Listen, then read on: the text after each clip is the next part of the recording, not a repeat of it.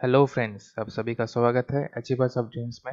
Video अच्छा लगे तो लाइक ज़रूर कर दीजिएगा एंड चैनल को ज़रूर सब्सक्राइब कर दीजिएगा। आज का टॉपिक है आई एग्जीक्यूटिव का एक्सपेक्टेड कट ऑफ़ तो आईडीबीए के ऊपर जो मतलब एग्ज़ाम के ऊपर एग्जीक्यूटिव के एग्ज़ाम के ऊपर और दो वीडियो जो बनाए हैं, उसका जो लिंक है वो आप ज़रूर देख लीजिएगा। उसका लिंक डिस्क्रिप्शन बॉक्स में दिया हुआ है तो वहाँ पे आप ज़रूर विज़िट कर लीजिएगा। वो दो वीडियो आप ज़रूर तो देख लीजिएगा।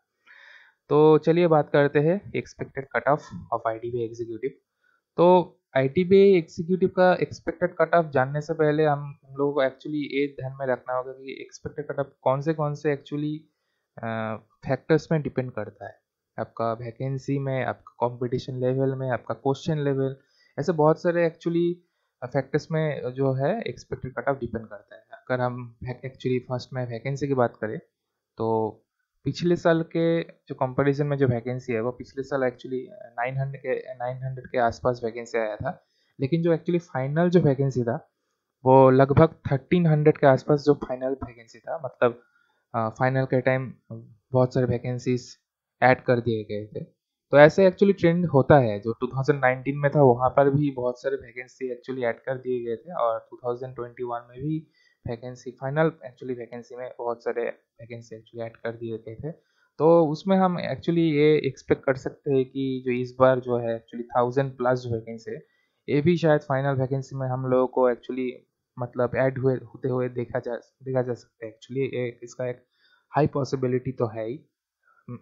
अगर मेरे हिसाब से approx thirteen hundred to fourteen hundred vacancy final vacancy actually हम लोग एक्सपेक्ट कर सकते हैं।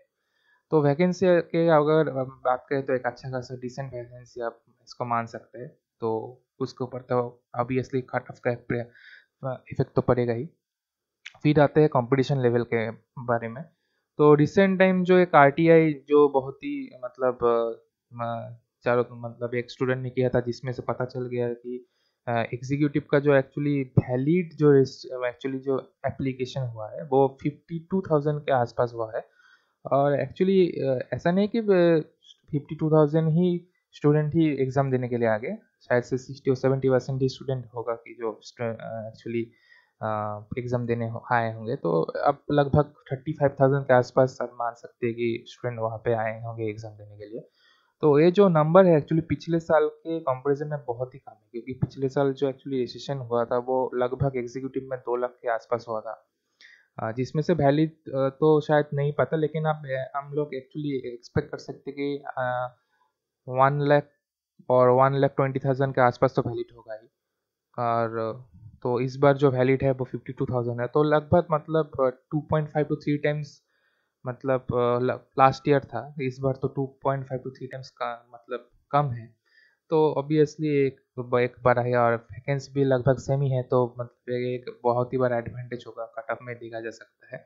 और एक्चुअली आई का जो और एक प्लस पॉइंट है एक्चुअली वो ये है कि मतलब बाकी जो एग्ज़ाम है एक्चुअली हम लोग हम लोग अगर बैंक के एग्ज़ाम की बात करेंगे एस हो गया बी हो गया एस हो गया और रिसेंट टाइम में भी जो एग्ज़ाम हुआ था actually R B I S I C so ये सब एग्ज़ाम में, और एक्सेट्रा ये सब एग्ज़ाम में एक्चुअली के जो एक्चुअली जो स्टूडेंट एक्चुअली क्वालिफाई हो गए हैं एक्चुअली जो मतलब जॉब करते हैं, वो वो स्टूडेंट भी एक्चुअली एग्ज़ाम देने आते हैं।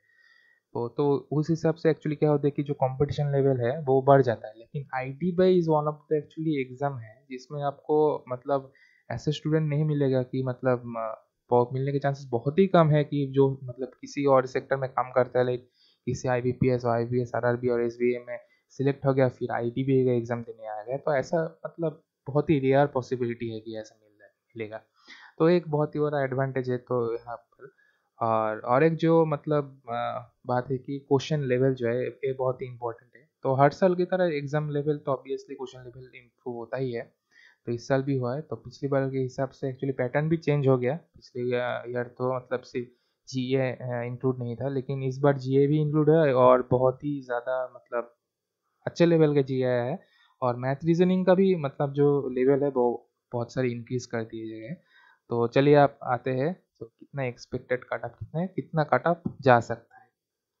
तो जो एक्सपेक्टेड कट ऑफ़ है, वो यूर का 110 से हंड्रेड 112 ओबीसी 106 से 108 ई डब्ल्यू एस हंड्रेड से hundred and six S C hundred से हंड्रेड एंड टू और एस टी से नाइन्टी फोर तक जा सकते हैं। इसमें आप प्लस माइनस दो कर सकते हैं। तो मेरे हिसाब से तो इतना ही रेंज होना चाहिए।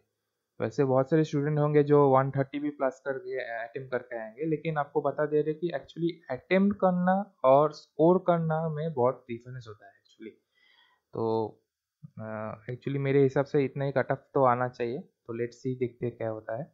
So thank you for watching this video